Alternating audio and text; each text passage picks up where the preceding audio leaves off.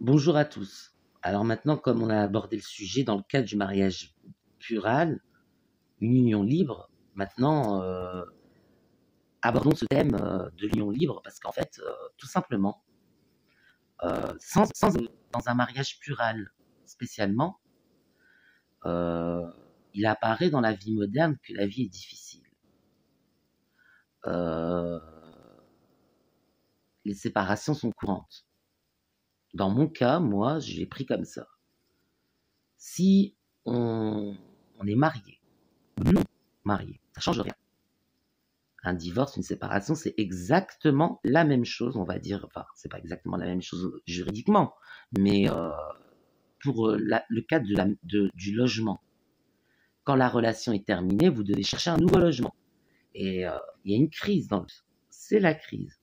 C'est pour ça que je dis que les vies sont compliquées et difficiles, parce qu'il y a beaucoup de séparations et c'est la crise. Donc ça, ça, ça va faire un blocage psychologique chez moi qui fait que euh, je me vois pas retourner chez ma mère, par exemple. Par exemple. Je me vois pas être hébergé encore une fois par quelqu'un. Parce que ça m'est déjà arrivé d'être hébergé, euh, j'ai déjà été SDF. Euh, je me vois pas euh, quitter mon logement parce que parce que il a été acquis euh, dans le mariage. Dans un couple normal sans mariage, euh, ce serait la même chose. Donc du coup, l'union libre.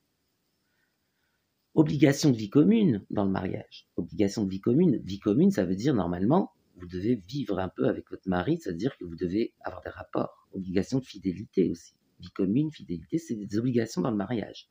Obligation de vie commune, obligation de fidélité. Donc, obligation de vie commune, obligation de fidélité, oui, vous devez coucher avec votre mari, clairement. Sinon, ça va pas. Si, c'est les motifs de divorce. Donc, euh, c'est tout. C'est tout. Euh, si euh, chacun a son logement, c'est possible. Hein. Il y a des riches, hein, vous savez. Il y a des gens qui ont les moyens d'avoir chacun un logement. Et, pourquoi c'est intéressant? Parce que le quotidien, il peut casser la, il peut instaurer une certaine routine et casser le couple. Sur le long terme. Tous les jours avec la même personne, au bout d'un moment, vous en avez marre. Alors que si chacun a son logement, vous pouvez vous retrouver seul, vous pouvez être avec la personne. Enfin, tout est possible. Si vous voulez passer la nuit avec la personne, vous lui dites de venir. Si vous voulez pas passer la nuit avec la personne, vous voulez vous retrouver seul, ben vous vous retrouvez seul. Chacun chez soi. Donc ça, ça, ça change rien à la relation. L'amour est toujours là. Euh, au contraire, c'est même une vie plus dense parce qu'il y a deux logements ou plus des fois, hein, s'ils sont riches, les gens. Ah ouais. Et euh, il y a plus de logements et euh, chacun a sa résidence. Donc euh, pour euh, l'aspect tranquillité, euh, intimité, euh, quand on veut. Euh, mais même sa pudeur aussi, euh, je sais pas. Moi, par exemple, j'ai de mauvaises habitudes. Je suis insomniaque. Des fois, je me lève pour manger la nuit parce que je suis un petit peu boulimique. Euh, et je vomis parce que je suis anorexique boulimique. Donc, du coup, euh, au quotidien, c'est pas gérable pour quelqu'un. Hein. Moi, je souhaite à personne de vivre avec moi. hein. Parce que je sais que si je me suis retrouvé SDF, c'est parce que ma mère en avait ras-le-bol de tout ça. Elle a fait une dépression. Fait une dépression, après elle pouvait plus. Elle pouvait plus, elle en pouvait plus. Je me lève la nuit. En plus, je fais du bruit quand je me lève la nuit parce que bah, je suis réveillé. Donc, euh, je veux dire, euh, pour faire à manger, déjà cuisiner, euh, ça fait du bruit. Des casseroles et tout ça. En plus, je suis un peu désordonné. J'ai des défauts, j'ai des défauts, j'ai pas que des qualités. Mais mes défauts, c'est surtout c'est un trouble cognitif parce que j'ai une maladie. Et c'est surtout sur le- le- l'aménagement du territoire, de l'environnement. Euh, Je sais pas bien le, je sais pas bien aménager mon environnement. Donc du coup, euh, comme j'ai des tocs et des troubles alimentaires, ça intensifie le problème. Parce que je débarrasse pas toujours quand je quand je fais à manger euh, la vaisselle. Euh, quand j'étais adolescent, ça me donnait de l'urticaire. J'avais de l'urticaire dès que je faisais la vaisselle. J'ai perdu l'habitude de faire la vaisselle et, euh, Et euh, à chaque fois que je, je, me relance dans une vaisselle, je ressens encore les troubles urticaires, c'est de l'hypochondrie. Hein. Et euh, ça me le fait tout le temps, à chaque fois que je fais la vaisselle. Alors je sais pas si c'est le vinaigre, si c'est le fait d'avoir les mains mouillées, je sais pas. Je sais pas. En tout cas, la sensation d'avoir les mains mouillées, ça me rend malade.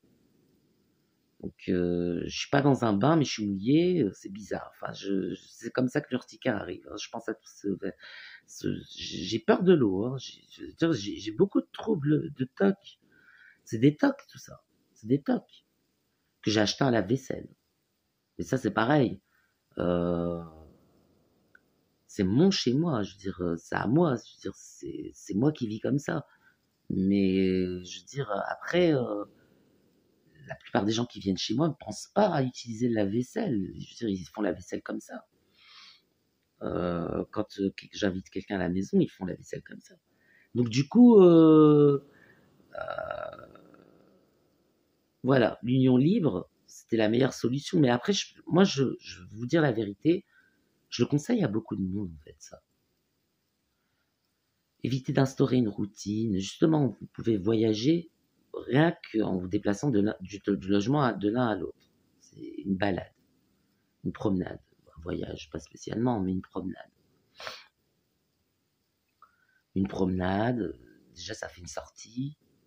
En plus, euh, quand il fait beau, bah, c'est agréable.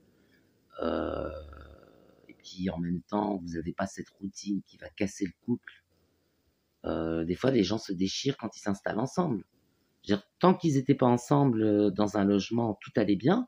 Le jour où ils s'installent dans un logement, c'est là que tout part en live. Et donc, du coup, je conseille à tout le monde, en fait. Parce que je pense que c'est bien d'avoir une certaine liberté individuelle de temps en temps dans un couple.